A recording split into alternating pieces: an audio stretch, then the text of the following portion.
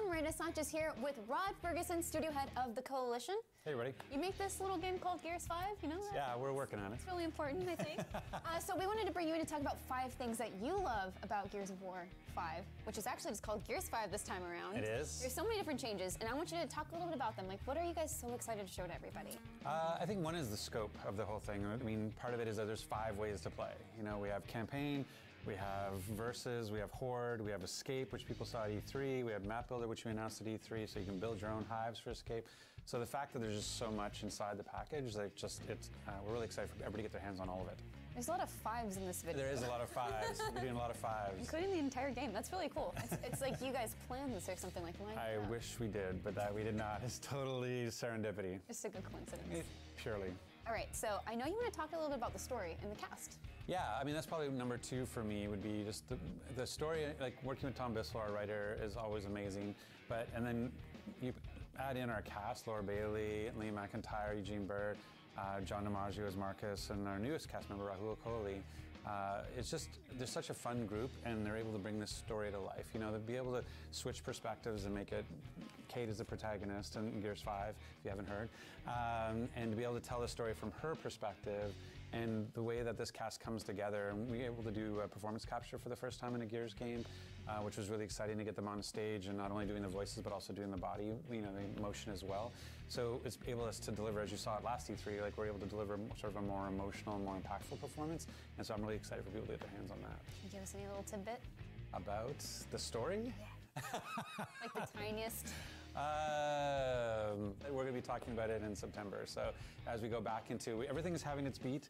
You know, we had Escape at E3.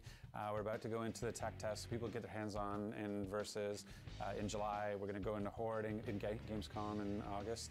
And then September, we're back to campaign, and we'll find and talk more about Kait's story there. Perfect. So now we know we're going to hear more about that. Right. Five big reveals. Yes. I'm just gonna keep bringing up five I know, and I, I could have cheated. I could have said my five things were the individual features, but we're going deeper than that. Yeah, so. yeah. So another big thing that you guys are trying to bring to this is approachability. Yeah, well, it's one of the things. Number three. Yes. Yeah, so number three is these are not stack ranked. Um, these are these are there's not in a particular order. Um, yeah, it's just a notion of you know Game Pass really changes the way that you have to think about game making. You know, in terms of that before there was this $60 barrier that would say like am i in or am i out? And am i willing to pay $60 to be in?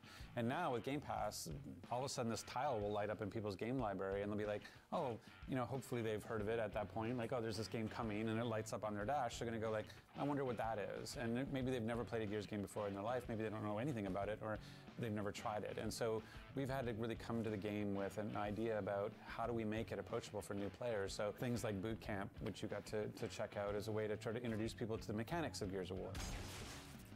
The new mode that people are going to get to play in July and part of the tech test called Arcade is a, a new way to play Versus, which is a little bit more casual in the sense that it's more fun. People worry about shotgun in the face while bouncing when they think about Versus, which is totally valid and a fun way to play, but there's like trying to find another aspect to it so people don't go in and think, oh, you haven't been playing for the last 15 years, well then you're out. And we wanted to make sure there was a way for people to, to get in and play Versus and have fun, and we feel like Arcade does that.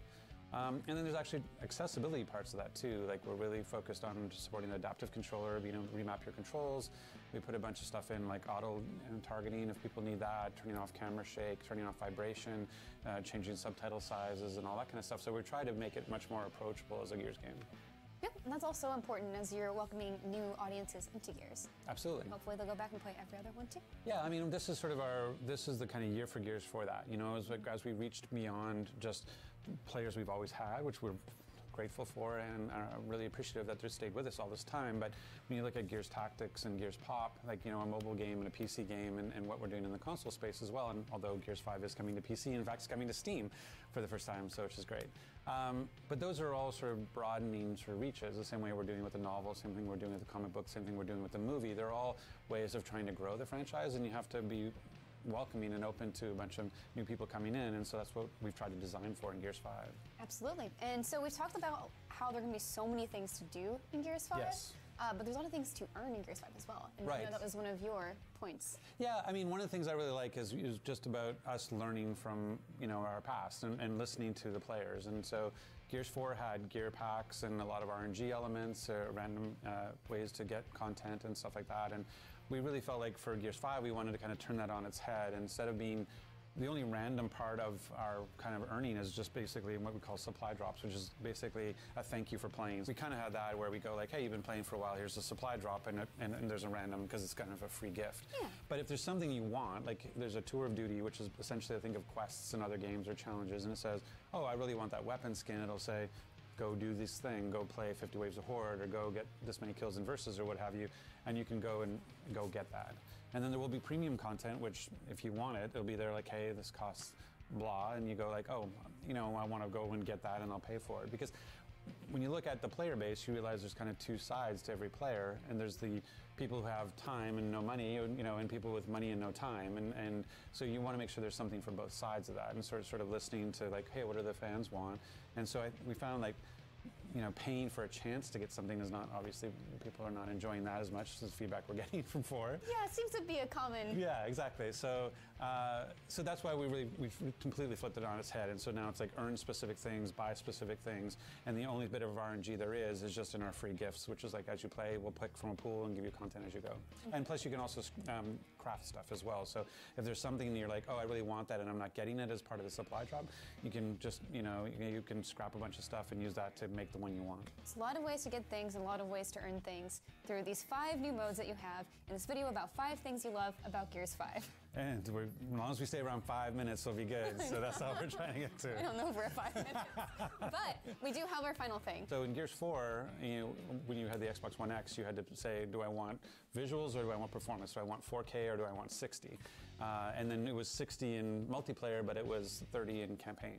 Mm-hmm. Uh, and I'm really happy to say that based on a bunch of work by some super talented people back at the studio, uh, we're actually both. We're 4K and 60 on Xbox One X. So you don't have to make that choice anymore, which is great. And now we also are able to support three-player split screen. So all of our modes support three-player split screen. So that idea of couch co-op and being able to sit on the couch and play together with three people is going to be exciting. So uh, yeah, I just that's one of my favorite things. So those were five things that you loved about Gears 5. And we didn't even get into all of them. I mean, Linda Hamilton as Sarah Connor and Gears 5 is going to be crazy. Yeah, I think there could have been so many more things we could talk about. And I'm sure we'll hear much more about that as we get to launch. Yeah, September 10th, September 6th, early access. All right. Well, thank you so much for joining me, Rod. And for more on Gears 5, keep it on IGN.